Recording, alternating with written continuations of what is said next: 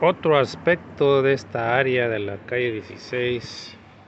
ya con un poco de limpieza con la participación ciudadana de los vecinos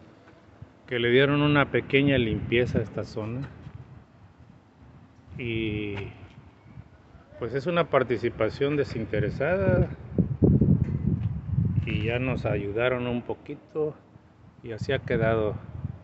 pendientes